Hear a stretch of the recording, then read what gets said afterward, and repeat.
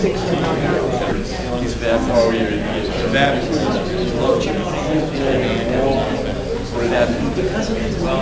secure. They do a great job keeping us safe, and they work for everybody. And now I really feel like I'm included in that everybody. Thank you. Thank you.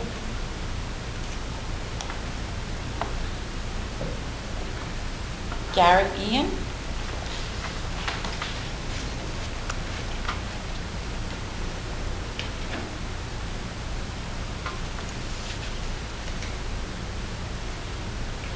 Thank you for your time today. My name is Garret Ean. I'm a resident of Concord, New Hampshire. On June 4th, I was arrested in front of the Manchester Police Department during a protest, and I became part of what is known now as the Chalking 8 incident.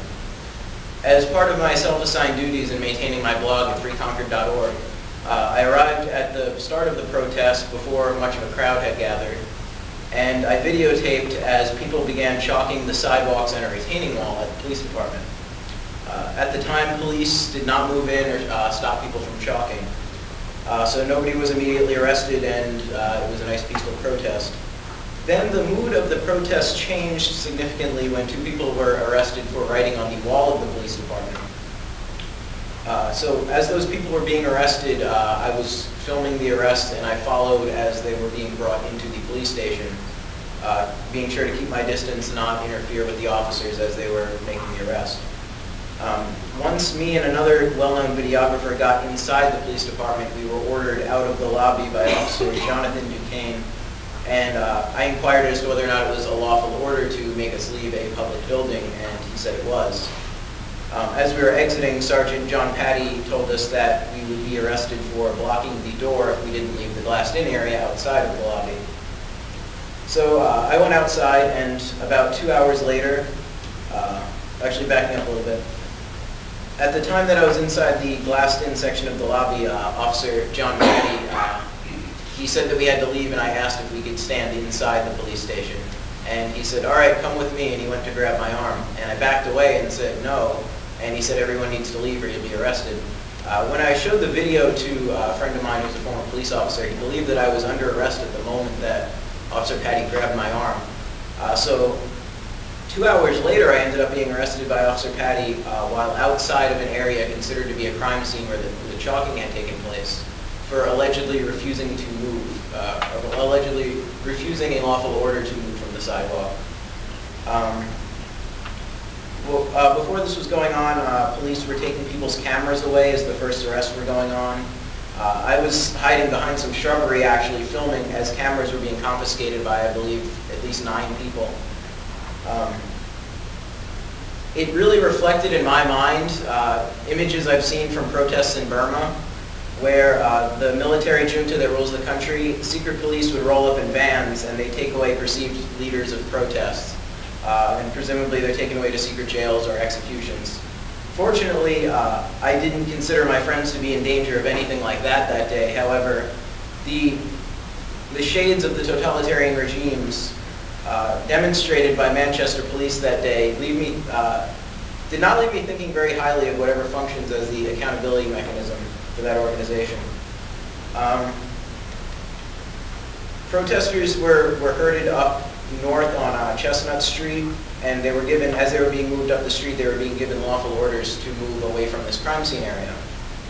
Um, now, this is perhaps as much a flaw of the legislature as it is a fault of officers who exploit the statute, but the disorderly conduct statute is written in the state of New Hampshire to make you automatically guilty of a violation level offense if you are uh, doing anything that could make you eligible to receive a lawful order.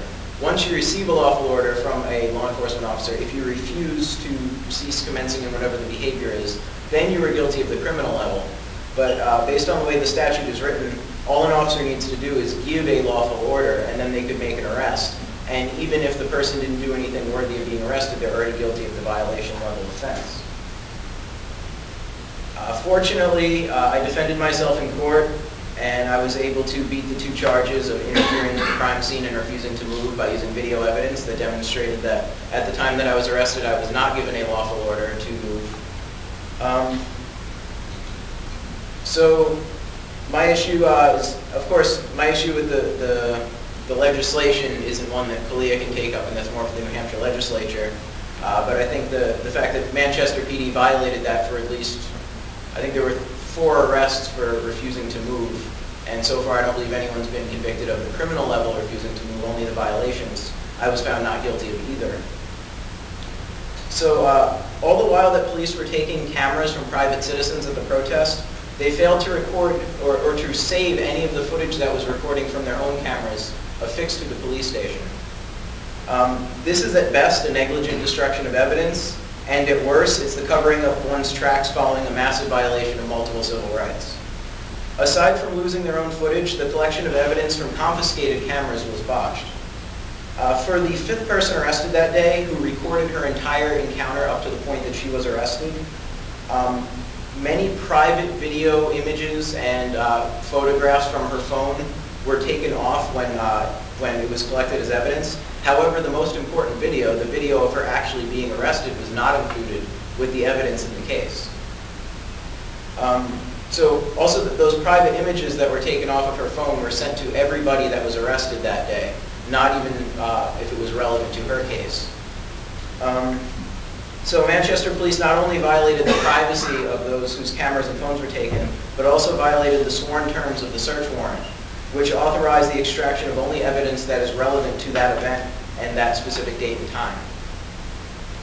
Uh, While I have addressed much of the negative I have experienced from the Manchester Police Department, that is not to say that all of my interactions with officers employed there have been of the lesser professionalism that I experienced on June 4th. Uh, Though I was forced to invest my own resources into defending myself from their legal attack, having the opportunity to have succeeded against an employed attorney for the city without paying for a lawyer myself and representing myself, uh, from this experience, I feel that uh, it's taught me a lot about the legal system, and I plan to use what I have learned to help others uh, who have become victims of frivolous charges, and until those loopholes exploited by unaccountable authority are closed. And I'd welcome any questions.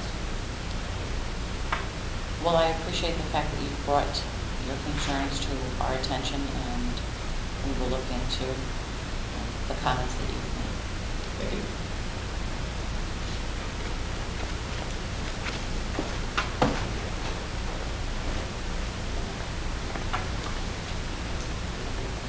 Barbara Miles? Welcome to New Hampshire. Thank you. And thank you for the opportunity to speak